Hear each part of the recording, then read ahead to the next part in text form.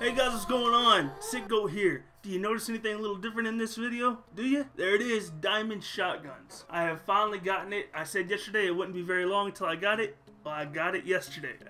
While I was playing last night, I finally finished the Haymaker, and then I got the last two things that I needed for the KRM, and I got them Diamond Shotguns. And as I told you guys in yesterday's video, I was going to be moving to the launchers after I got done with the shotguns. But in today's first gameplay, you're seeing the Diamond Argus. It's one of my favorite shotguns, so I figured I would show you this one. But if you do want to see the other shotguns with diamond camos, let me know.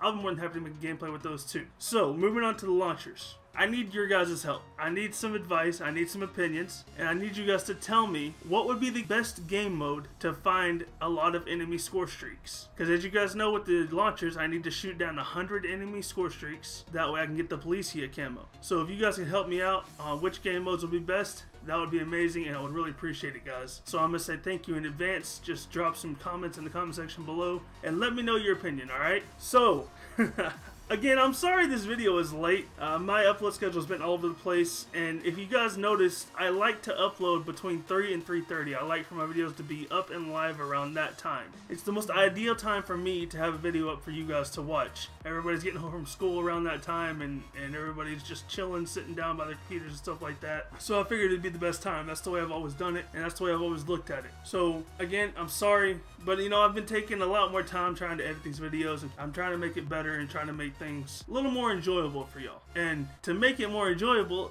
I could use y'all's help on that end too, to tell me what other kind of stuff you want to see. As you guys know, I've started the Medal of Honor series. Another episode of that will probably go up tomorrow. That will be episode 2. Again, thank you guys for the support on that. I also have Assassin's Creed Black Flag on Xbox 360 thanks to Sick Trends. Make sure you go check out his channel. It would mean a lot to me if you did. Anyways, guys, I'm kind of rambling on here. Well, I mean, it does have a point. The point is asking you guys for help on which game was the best. And just so you guys know, your opinions mean the world to me. I really do value your opinions more than you really think. So if you guys could help me out, let me know. That would be amazing. And let me know what type of games you want to see too would just absolutely be awesome.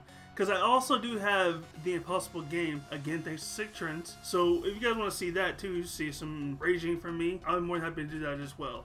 It just means the world to me to have people like you to be able to watch my videos every day. I know I say it in every video, but I just can't get over the fact that this is true, that, that something like this actually exists, you know? I may not be that big of a channel, I may only have 1,440 subscribers, but I still love every single one of you and all of you are legends. Anyways, guys, thank you so much for all your support. I hope you guys enjoyed this video, and if you did, be sure to drop a like on it, it helps out tremendously, and also thanks for watching, guys. As always, I'm Syck Goat. You guys have a good day, and I will catch you guys in the next one. Peace.